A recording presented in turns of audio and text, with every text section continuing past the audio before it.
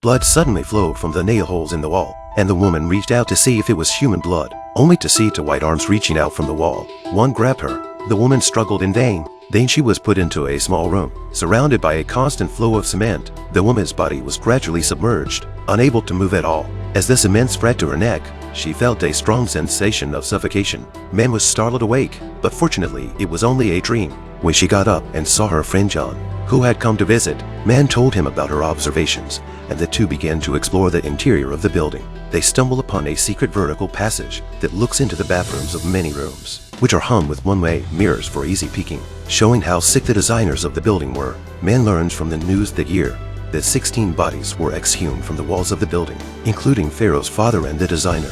At night, Man is in her room with her boyfriend, unaware that Pharaoh is eavesdropping from within the walls.